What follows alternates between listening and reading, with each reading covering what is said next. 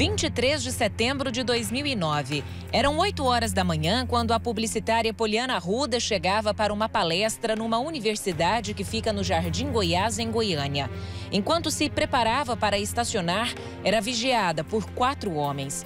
Lavonieri estacionou o carro em que estavam bem próximo ao de Poliana. Em seguida, saiu do veículo juntamente com Deberson e Assad. Quando Poliana desceu do carro, foi imediatamente abordada por Assad, que estava com uma arma de fogo calibre 38. Ele anunciou o assalto e obrigou Poliana a entrar novamente no veículo pela porta de trás.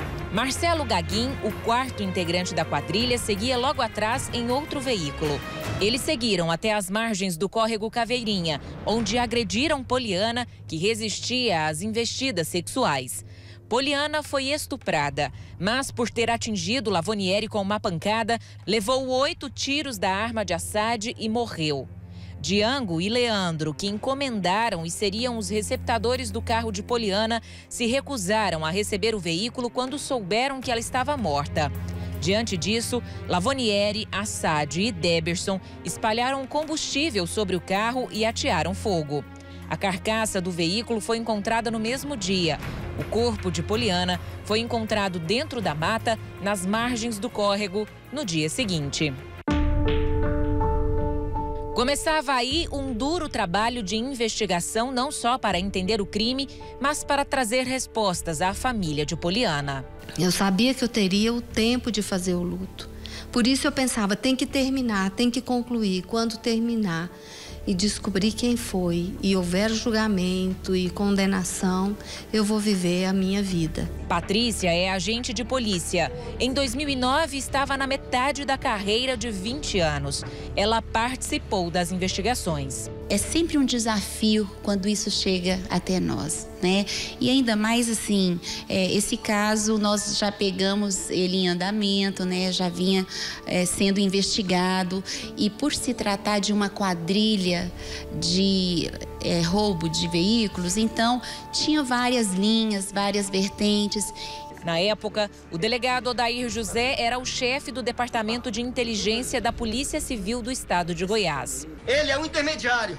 Ele, o Leandro, pediu pro Django dois Prisma Preto modelo Max, carros semelhantes ao da publicitária Poliana Ruda. O trabalho foi difícil, delicado e vários delegados estiveram à frente do caso. Foram dois anos e três meses de investigação até a prisão dos quatro suspeitos. Outros dois, Lavonieri e Deberson, foram assassinados misteriosamente logo após o crime.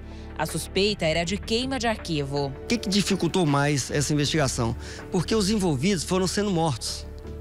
Né, foram sendo mortos. E o outro, um foi, os dois que ficaram vivos, um foi para Tocantins e o outro foi para Ponta Porã.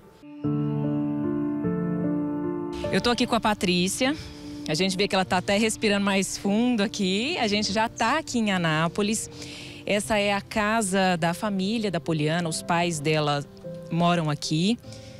Você respira mais fundo, porque fica emocionada? Muito emocionada, tá? Muito emocionada. A gente vai, eu vou tocar aqui agora o interfone para chamar a dona Tânia aqui. Elas acabaram se tornando amigas ali por causa da investigação, né? Desse compartilhamento de informações, que não é, não é fácil, né? Não, não é fácil, né? Nessas investigações a gente acaba se envolvendo, né? Cria-se um vínculo. Ah, não. Olha aqui. Oi, Tânia.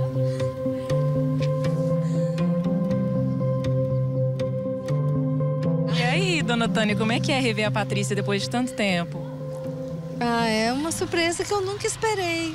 Nunca esperava por ela, porque Patrícia é uma pessoa essencialmente discreta, séria no trabalho dela.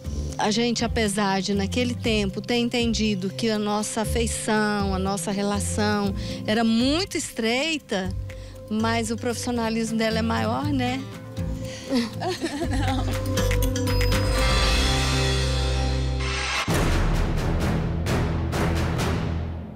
Assad Aidar de Castro foi condenado a 45 anos de prisão por latrocínio, ocultação de cadáver, estupro e formação de quadrilha.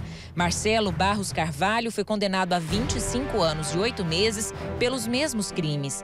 Django Gomes Ferreira, condenado a 23 anos e 2 meses de prisão por roubo qualificado e formação de quadrilha.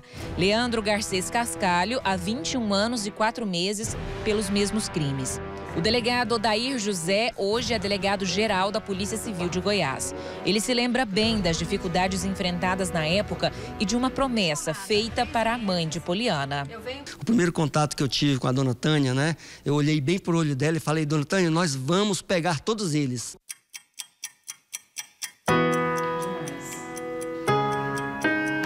Família de Poliana, a lembrança da moça bonita, esforçada e inteligente nunca será apagada.